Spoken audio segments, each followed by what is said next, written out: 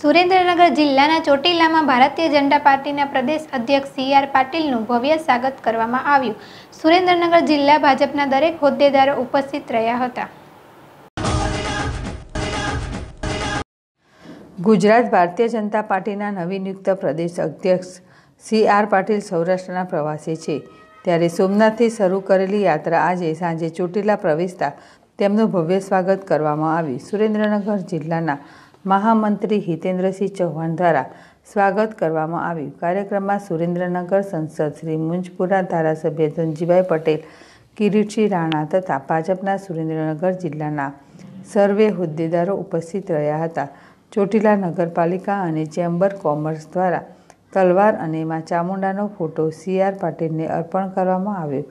કાર્યક્રમના અધ્યક્ષ સ્થાનેથી સી આર પાટીલે જણાવ્યું હતું કે, પાર્ટીમાં ક્યારેય જૂથવાદ હું ચલાવવા નહીં દઉં.